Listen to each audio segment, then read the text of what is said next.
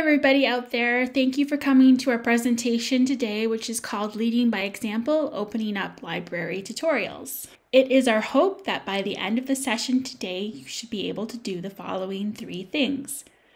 Evaluate your existing institutional materials and or resources for their potential as an OER, formulate a manageable process to convert your existing material to an OER, and articulate how to begin your own OER creation. My name is Cisco Boschman, and I will be co presenting today with my colleague Jacqueline Chambers Page.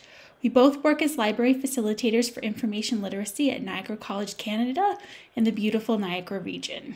Niagara College Canada is a mid sized, publicly funded college of applied arts and technology a total enrollment of 10,500 full time students who are enrolled in over 130 diploma, graduate certificate, apprenticeship, and bachelor's degrees programs. NC Libraries offers in person as well as virtual support services for students, faculty, and staff at both institutional campuses. Through our positions at the college, both Jackie and I are tasked with supporting faculty in the discovery, development, and use of open educational resources. This is the only formalized role or position at the college that is focused on the promotion of OER, and it makes up less than 35% of our working portfolio, which means many of our efforts are very much at the grassroots level.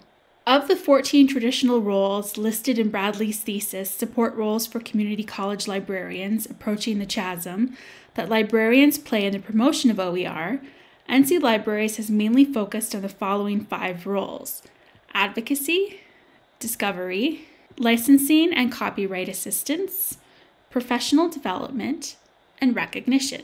For example, we advocate for OER while recognizing college champions through Open Education Week activities, such as hosting an open textbook petting zoo, as well as hosting a panel discussion on OER where local adopters, adapters, and creators of OER are honored, while also giving them a chance to share their experiences with others.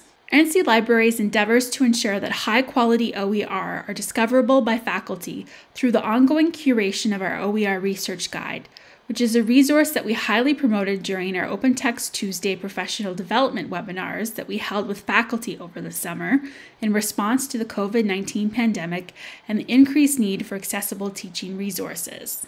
OER are always top of mind in our other roles as information literacy facilitators, and especially as copyright support for the college. Recent changes at the college to more of an online delivery model as a result of the pandemic has met with an increased need by faculty at Niagara College to use OER, which has further been met with increased questions from faculty about how OER are licensed and how their licenses affect their use. Despite these endeavors, both Jackie and I are eager to expand NC Library's OER portfolio to include the curation, description, and above all, the publication of open educational resources, partly to make better use of our library's digital institutional repository, and partly to expand the visibility of OER at Niagara College. Specifically, we are interested in the curation, description, and publication of OER textbooks, which have been slow to be adopted at the college, with only two known instances of professors adopting or adapting an OER textbook for their courses. Currently, Niagara College's financial aid office estimates that the cost of student textbooks to be anywhere from 500 to 2500 Canadian dollars a year, which is a significant amount of money considering yearly tuition and ancillary fees at the college starts at 4000 Canadian dollars. Being aware that the cost of textbooks can be a deterrent to student success has been another motivating factor for trying to get faculty to produce their own OER for their students as many of the applied fields of study taught at the school don't have existing OER textbooks that can be easily adopted for classroom use. According to Stephanie Sterling Brasley's doctoral dissertation, Advancing Faculty Adoption of Open Educational Resources in Higher Education, systems that appear complex are less likely to be adopted by newcomers. As such, the technical machinations of creating an OER textbook could certainly be a barrier to faculty from deciding to publish their own. Knowing this, Jackie and I decided to create our own OER textbook in order to demystify the process of creating one, both for ourselves and for other faculty at the school, thus transforming our roles from promoters of OER to creators of OER. Since our main role at the college is as information literacy facilitators, we decided to create an OER ebook that taught information literacy skills to college students using online information literacy modules that we had already adapted from the now defunct CLIP project at Western Oregon University. An excellent opportunity arose for us recently when we obtained free Pressbooks accounts through the generosity of eCampus Ontario. We were eager to obtain firsthand experience with Pressbooks to help faculty interested in creating their own OER. And this seemed like the perfect moment to combine our desire to advocate for open educational resources through experience with our interest in presenting the content of our information literacy modules in an alternate format.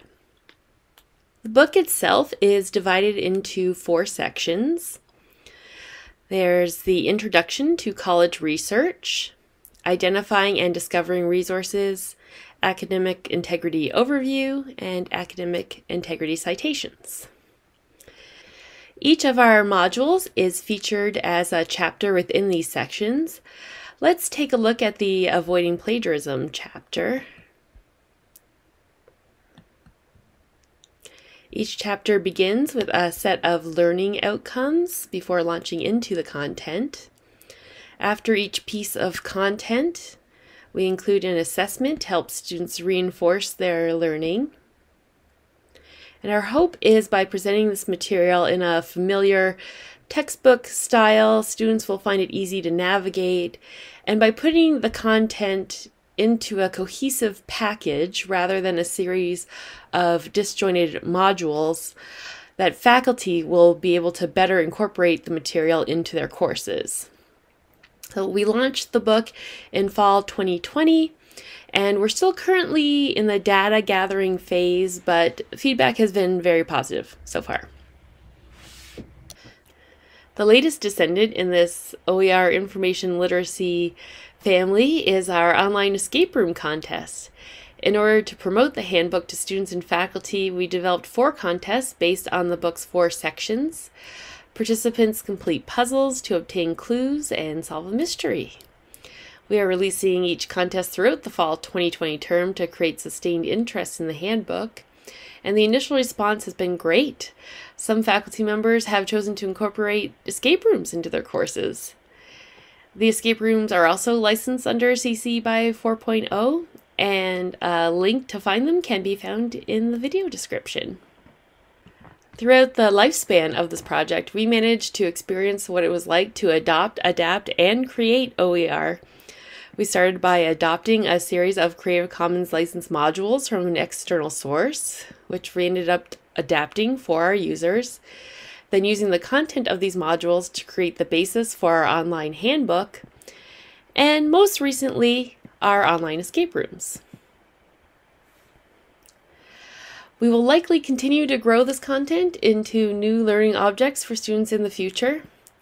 And all of this was possible because the original material that inspired us was Creative Commons licensed. Our experiences with this project have given us the confidence to advocate for OER as consumer and creator. We hope you've enjoyed hearing about our project and the process behind it. Our goal with this presentation was to help you overcome any anxiety or intimidation with working with OER by demonstrating how easily you can begin. We'd like to end today by sharing a few key points we have realized throughout our experiences. First, take advantage of what's already available to you. Check with your library to see if they already have resources in place to help you with OER you might not be aware of how much support, including access to editing software, is available and waiting for you. Another thing to consider is reviewing the learning material you've already created for its potential as an OER. Have you created something that you would like to share? Have you created something that you think others would benefit from or that you would like to share with others for collaboration? A lot of work goes into creating these materials, so why not share them with the world? And finally, don't be afraid to experiment and play. Adapting an OER might lead you to exploring new software or platforms. You may be inspired to create something that never would have occurred to you otherwise. We would love to hear your OER advice. If you have a minute, please visit our Padlet and share some key points you've discovered from working with OER. The Padlet link is also in the video description. And thank you for watching. Feel free to contact us anytime. We look forward to hearing from you.